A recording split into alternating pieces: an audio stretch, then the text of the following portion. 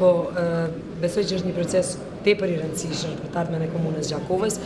presim ndryshime substanciale, por mbi gjitha së pari uroj që dita e sotit të shkojë mbarë dhe mirë, që të kemi një proces të rregullt, që të shkojë një proces me qetësi, dhe gjithashtu secili banor i komunës Gjakovës me të drejtë vote, të shfrytëzojë të drejtën e vet të votës dhe të dali të votojë. Po jam e sigurt se secila ankesë do të shkojë në rrugën institucionale, që do të adresohet organeve kompetente. Ka pas shumë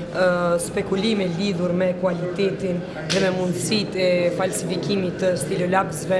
në deri në atë pikë sa ka të tillë që mund të avullohen, por besoj që në secilin rast ekzistojnë organe të cilat përcjellin këto procese, por edhe nëse del një numër shumë i madh i votave të pavlefshme, atëherë duhet të shihet se ku është problemi, por sinqerisht nuk besoj se do të ballafaqohemi me një situatë të tillë, mund të jenë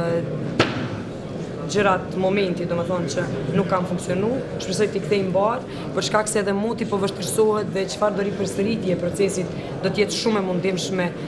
për votuesit që gjithmonë ta tregojnë të drejtën e vet elementare, ta shprehin vullnetin e tyre, por që kushtet atmosferike më nuk do të na lejojnë hapësirë